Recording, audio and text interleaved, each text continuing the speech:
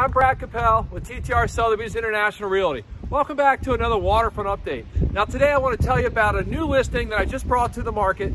It's a to be built package. And what that means is I've paired up with a local builder, Caruso Homes, and they've gone ahead and given me a model, a model home that they can build on a waterfront property that I have currently listed. The lot alone, which has an old house on it, is listed for 680,000.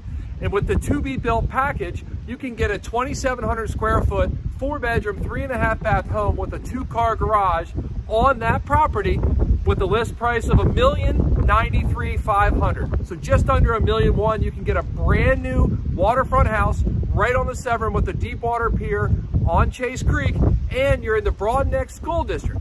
So it's a great value. You get to design the custom home of your dreams. And there's lots of details. You don't have to pick the model that's currently on the website, which is the Seahawk model. They have lots of models to choose from. And I'm happy to share all the details with you. You can go to carusohomes.com or you can go to bradkappel.com. All the information's there, or just simply give me a call. I'd love to help. I'm Brad Kappel, TTR Sotheby's International Realty. I look forward to seeing you out here on the water.